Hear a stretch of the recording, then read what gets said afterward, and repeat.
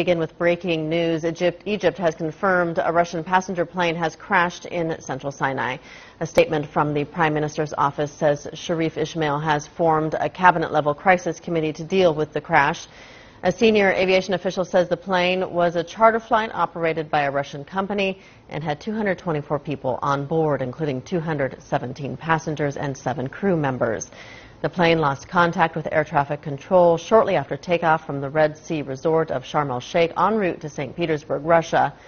Russian media reports the captain asked to change routes and landed in Cairo soon after the plane took off.